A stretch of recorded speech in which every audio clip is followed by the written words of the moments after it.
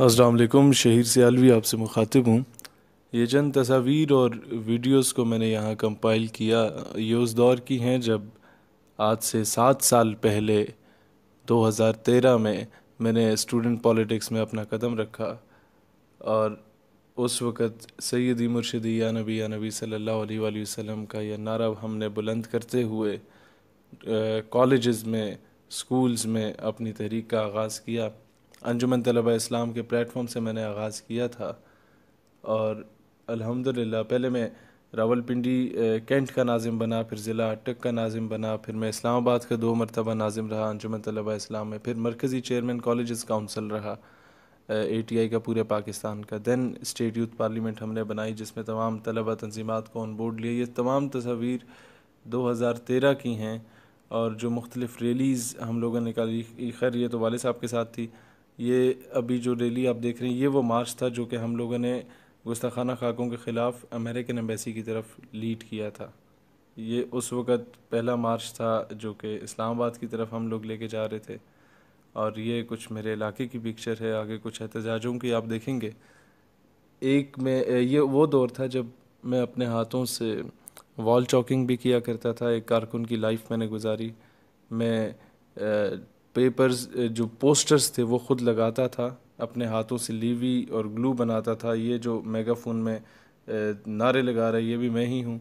और जो मैदा होता था, उसको पानी में उबाल कर, वो चिपका चिपका सा एक मटेरियल बनता था, उसकी ग्लू बना के हम लोग करते थे।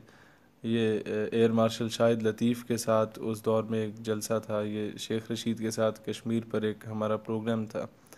उसमें देन ये इंडियन फ्लैग को हम लोग मतलब एहतजाजन कश्मीर में जो मजालिम हो रहे थे, उसके ख़िलाफ़ इकट्ठे हुए। ये हमारी टीम थी उस वक़्त यूनिवर्सिटी में।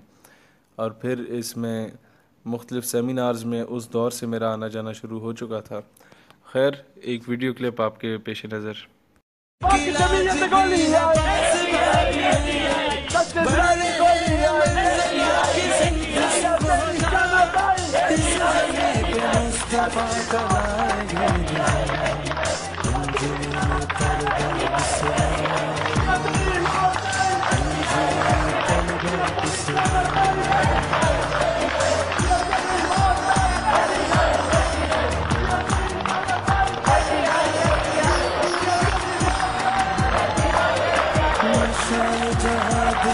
मैं समझता हूँ कि जब तक एक आप ज़बरदस्त किस्म के अच्छे कारकुन नहीं बनते, तब तक आप एक अच्छे लीडर कभी भी नहीं बन सकते।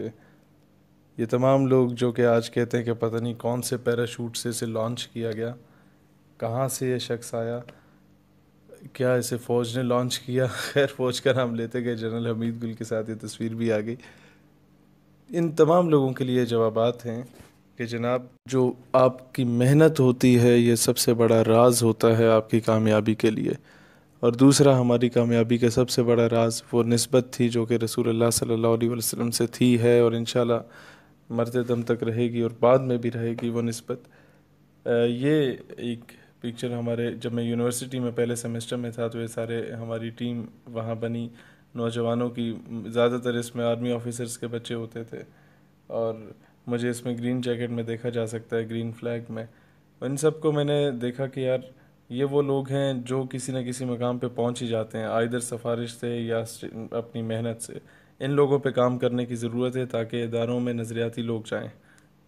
अब एक, मेरी तकरीर का एक क्लिप आपकी पेश खिदमत है, जो कि मैंने एक army public college of management management and sciences, जहाँ से मैंने पढ़ा था, वहाँ पर जो मैं तकरीर की थी 2013 में, ये वो Pakistan! Pakistan!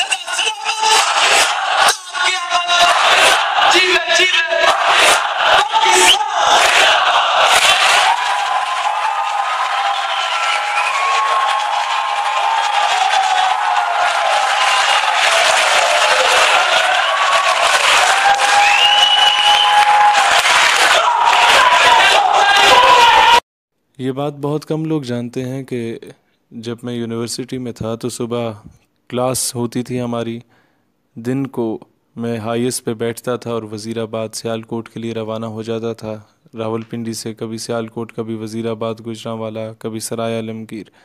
और रात को वापस आना तीन चार घंटे जो नींद होती थी वो उसी बस या हाईएस में होती थी और सुबह हॉस्टल में पहुँचना, शेरवानी चेंज करना यूनिफॉर्म पहन लेना। और फिर अगले दिन क्लास लेके फिर कहीं पर सफ़र पर रवाना हो जाना और नौजवानों को मोटिवेट करना।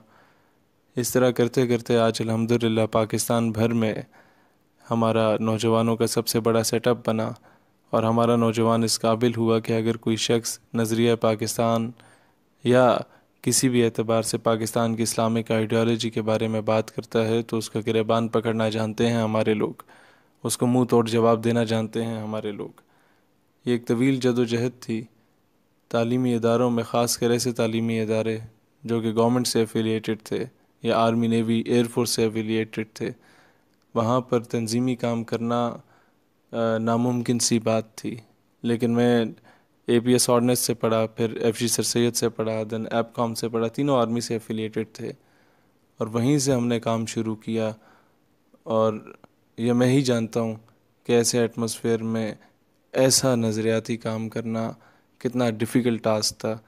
बहरहाल, एक चीज़ मुझे इस चीज़ का अंदाज़ा हुआ है कि जब आप एक कदम बढ़ते हैं, ना से रसालत और ख़त्म नबूत अलैहि वसल्लम के अजीम कॉज के लिए तो अल्लाह ताला आपको सैकड़ों गुना बढ़ के कामयाबियों और कामरानियों से नवाजता है।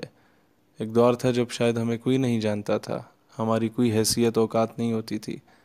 आज ये सारी इज़्ज़तें जो मिली, इसमें कोई दो राय नहीं कि कायनात की तमाम इज़्ज़तें, कायनात की तमाम रिफ़तें और शहरतें फ़कत रसूलुल्लाह सल्लल्लाहु अलैहि वसल्लम के सदक़े व तुफ़ैल हैं।